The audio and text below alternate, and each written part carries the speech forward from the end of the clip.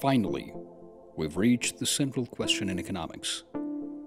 What's the best choice? But best could be a relative concept. What's best for you can be different from my best insofar as our preferences, not to mention our resources, are different.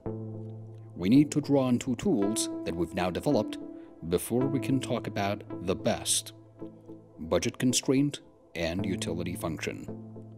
Finding the best bundle of goods given the consumer's preferences and her budget constraint is called constrained optimization. Put simply, we're looking for the quantities of good 1 and good 2 that give you the highest level of satisfaction and that you can afford.